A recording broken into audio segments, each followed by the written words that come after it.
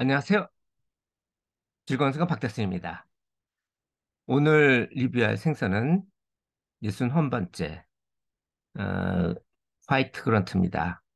화이트 그런트는 그런트 어, 속 중에 마지막이고요. 내일부터는 다른 것으로 하겠습니다. 색깔이 하얗죠?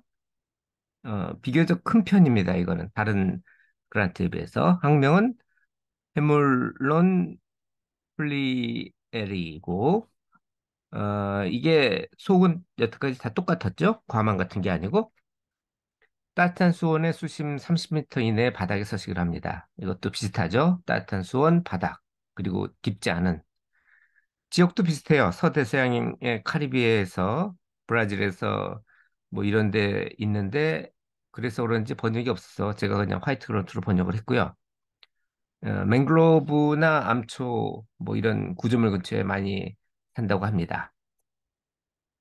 영어로는 red mouth인데 입이 별로 노란, 아니, 빨간, 빨간색인 것 같지는 않은데 어쨌든 red mouth라고 부르기도 합니다. 한글로는 제가 번역한 걸 하나밖에 없고요.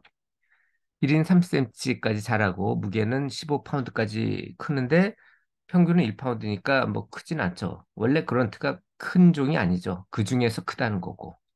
어, 어쨌든 뭐 15파운드까지 자란다 그러니까 큰 거죠. 은빛 크림색에 어, 세로 줄무늬가 있죠. 노란색이나 파란색으로. 이게 다른 그란트처럼 주변 환경에 따라서 뭐 물고기가 다 그렇죠. 색, 색상을 조절하기도 하고 그란트 중에서는 가장 큽니다. 긴 머리하고 주둥이가 또렷합니다. 팔 모양의 가슴 지느러미가 특징이고요. 꼬리가 갈라진 것도 조금 다르죠.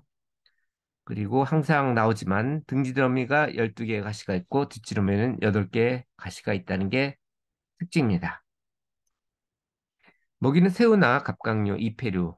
이페류가 그 입이 두 개인, 그러니까 조개죠. 조개고 환영동물의 연체동물 이런 것들을 먹고 식용뿐 아니라 낚시, 수족관용 예쁘잖아요. 컬러풀하니까 그렇게 인기가 있는데 식용으로 인기 있는 이유는 이게 그란트 중에서는 그란트가 다 맛이 있고요.